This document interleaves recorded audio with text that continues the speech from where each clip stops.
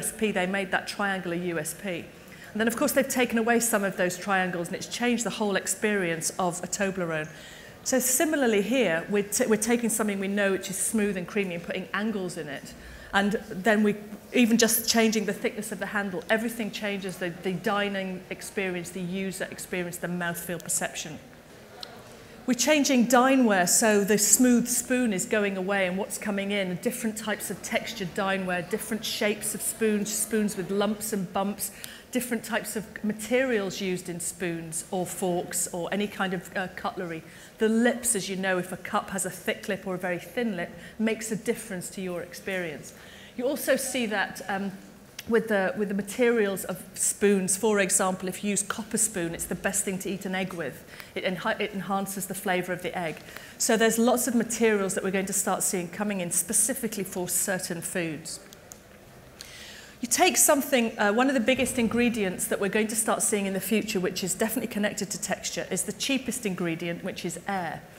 And so we take a regular box of chocolates we, and we create something like this so that you see all of the textures of the outside of the cube are different, but the only difference in the ingredient is just cacao. Cacao prices are going up, but the cheapest thing to add in there would be air. So you put some air inside of it, and of course the mouthfeel experience is the same because these corners will touch the edge of your mouth, just the same as this will. But of course, what you're doing, you're buying yourself a little bit of profit by putting air inside so Aero and Curly Whirly have thought about this a long time ago, but we haven't gone further than that. So what we're starting to see with air coming in as a, an ingredient or as a texture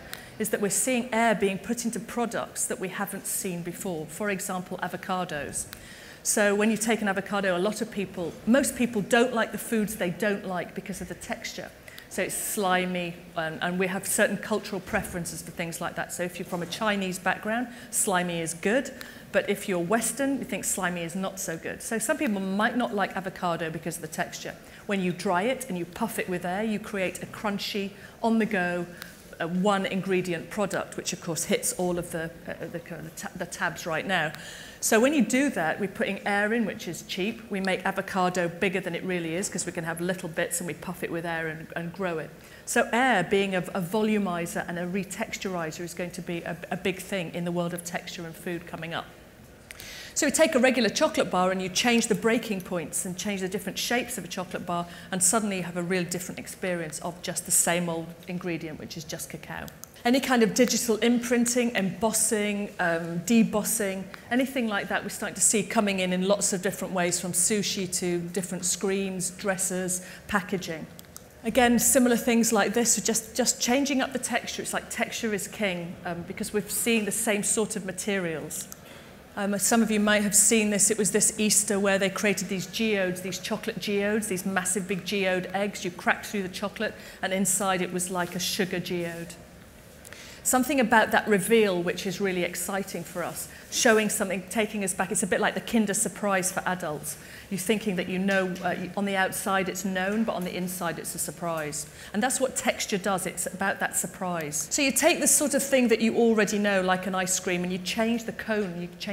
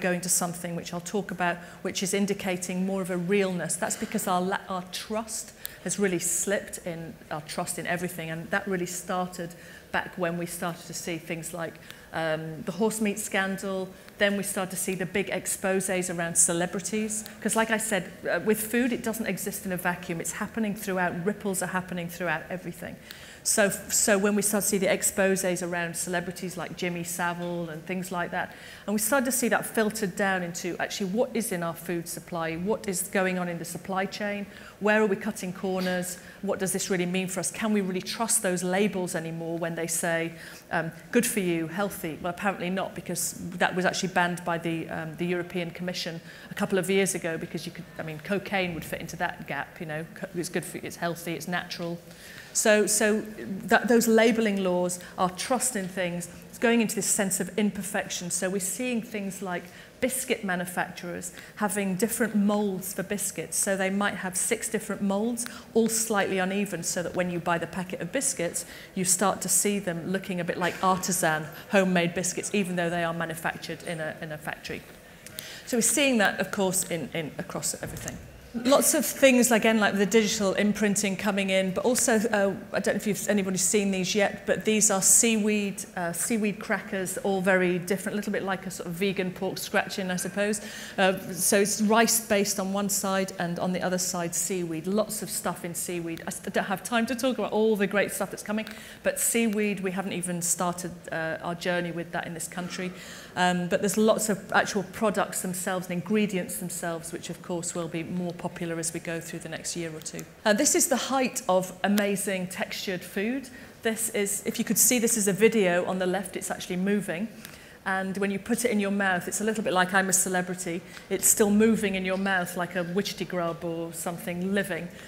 And so that it's, it's tickling your mouth um, as you eat it, and it's moving as though it's alive when you eat it.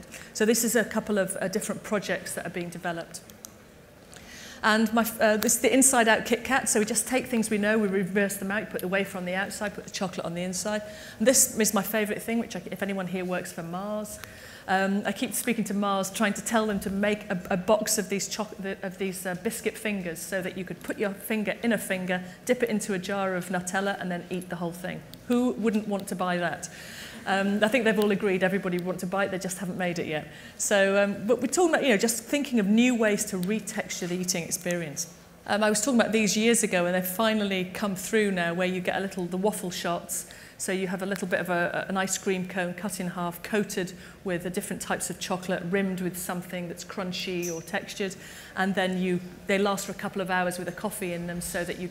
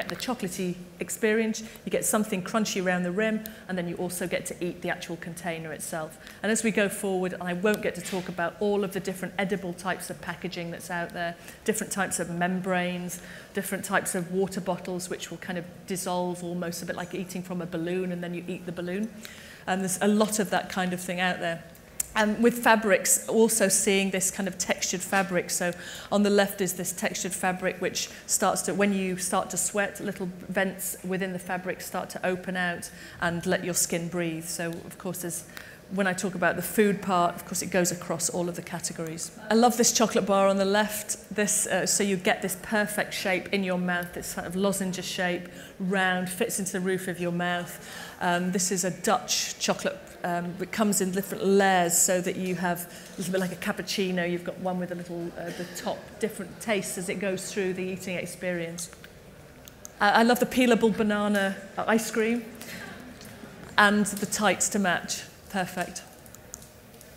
So the next trend is back to the land, again talking about this sense that we need to connect to something more meaningful, that we're coming away from this idea of perfection, whiteness, purity, and we're going to something that's soil and blackness, which you see the rise of things like uh, we're going to see more and more uh, imperfect vegetables coming back,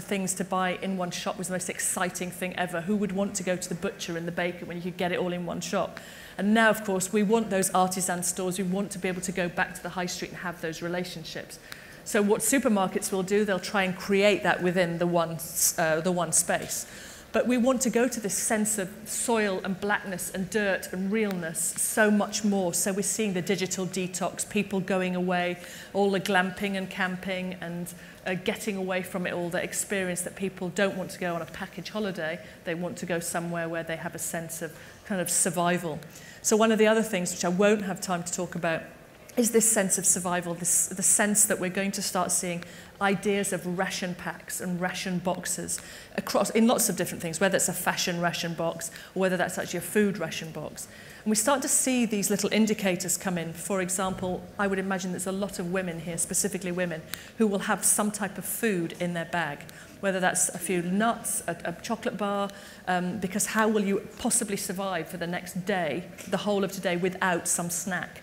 is, is hard to imagine, isn't it? You're, you're out there already surviving in London, thinking, how will I possibly get from the tube to another tube and not need something to eat and not find a shop to get something in? Because we're already doing it. We started to see that coming through with things like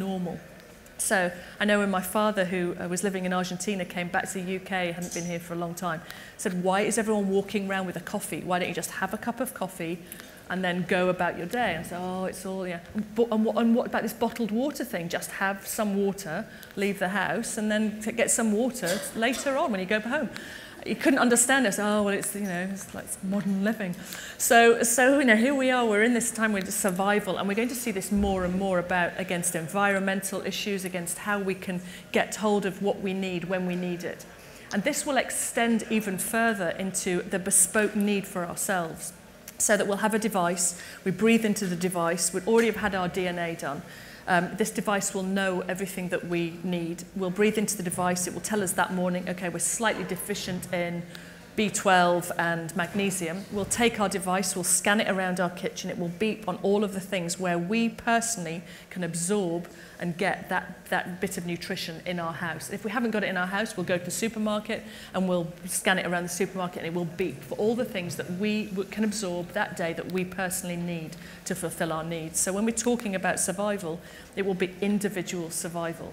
And that's why one diet doesn't fit all, which we already know. Some of you have done the 5-2 and you lost 5 stone, and other people did 5-2 and gained 3 pounds. So, you know, we are so unique and different, and we're going to start seeing that playing out. And these ration packs, these survival ideas, will be coming really bespoke for each person. I've digressed. Okay, so here we are. We're, so we're talking about this sense of blackness. So whether it's squid ink, whether it's uh, black sesame, whether it's charcoal,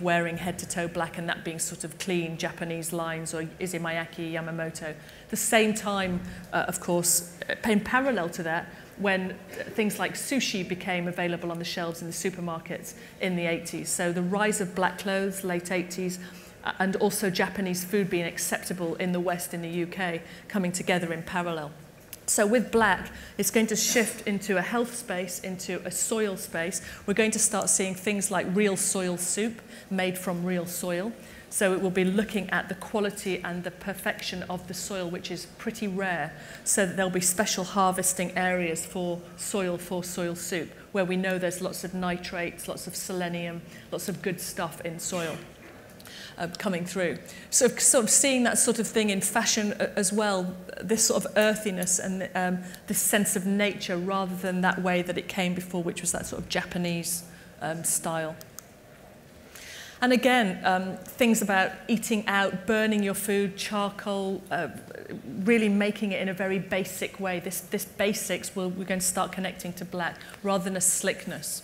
Anything to do with seaweeds, earthiness, that sort of imperfection,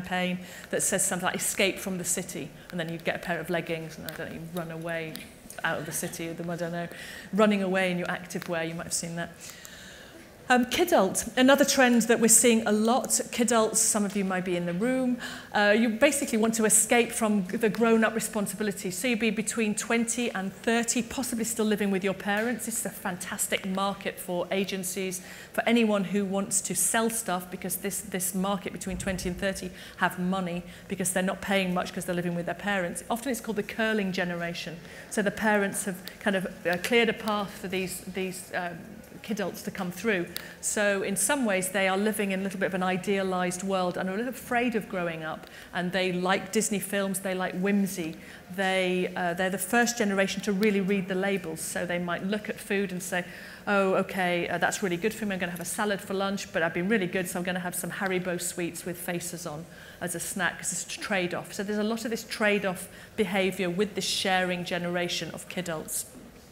So they love sugar and they love fun things and this really speaks to them motifs things with faces food with faces colour, uh, playful. It's, it's a real playful thing. So definitely anything that looks like something, whether it's their food, whether it's a necklace, whether it's jewellery, whether it's interiors,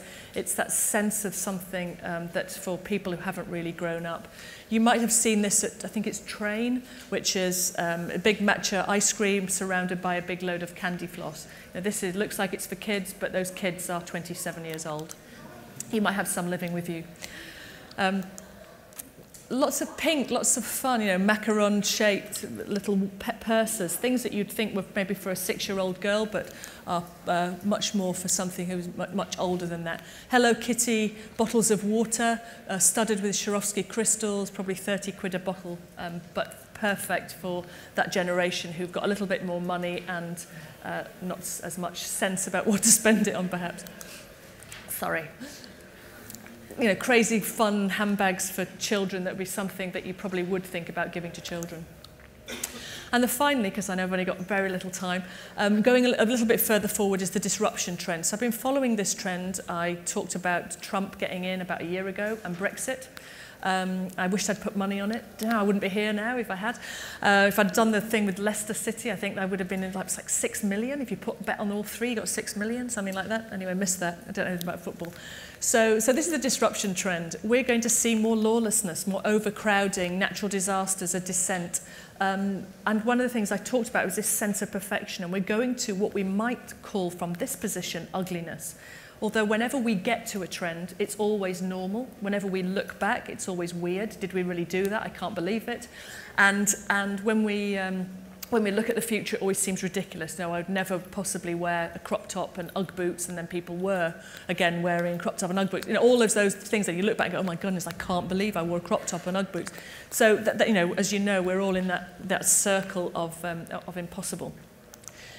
So we're seeing the freak shakes coming in, things that uh, the anti-fashion fashion, lots of clashing, lots of things that we might think right now aren't really um, beautiful. One of the things we'll see is makeup that looks like scratches and burns and um, brutal types of um, brutal types of face wear. Uh, this is an armadillo cake, that's its guts spilling out. It's the sort of thing you'll definitely be serving at a dinner party. Uh, dis, disfiguring things, disfiguring, which we would call now disfiguring yourself. So that we're in a phase right now where I'm seeing a lot of adults in the UK, um, possibly in the US also, wearing braces.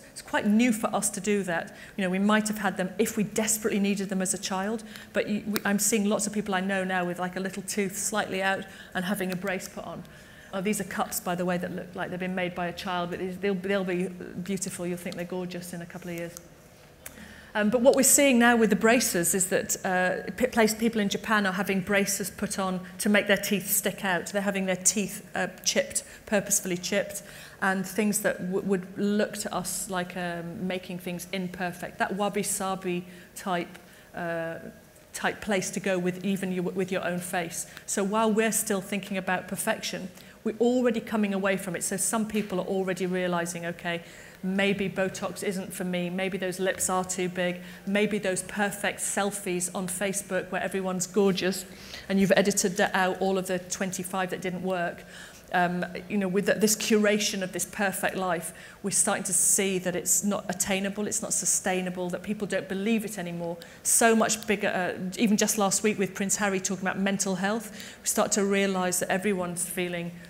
not good enough on some level or not perfect enough, not rich enough, not beautiful enough. So we're going to start coming away from that and flipping to the other side, which is this sense of disruption, this real, real imperfection. Uh, this is a, a, this lovely uh, shower mat where you step out and when it's wet it looks like you're bleeding. Um, I, I like that. Uh, this is a, a, a sort of makeup that um, I can aspire to. Oh, these are the braces. This is a woman. So this is before, and she before she had the brace on, and then this is after the brace, so her teeth stick out. And this sense of uh, you know, having these table settings specially for you, so it might just look like it's been uh, messed up at a, at a picnic, but this is the before the picnic.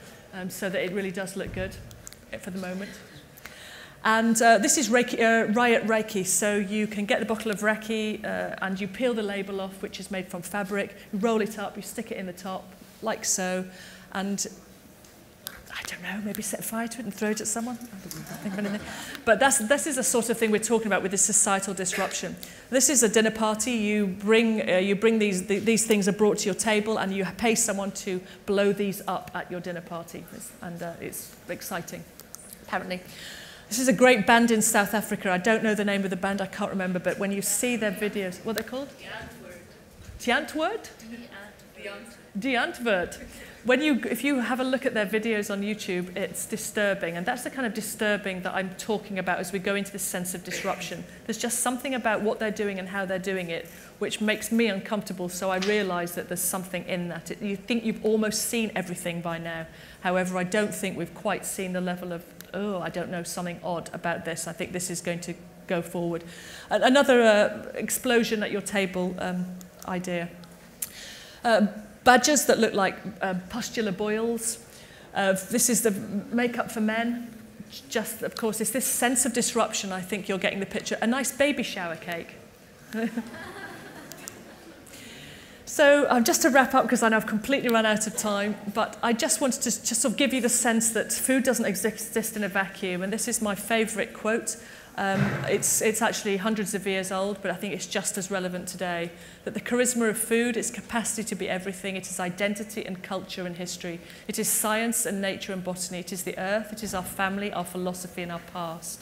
It is the most important matter in our lives. It's more than its ingredients, it is transcendent.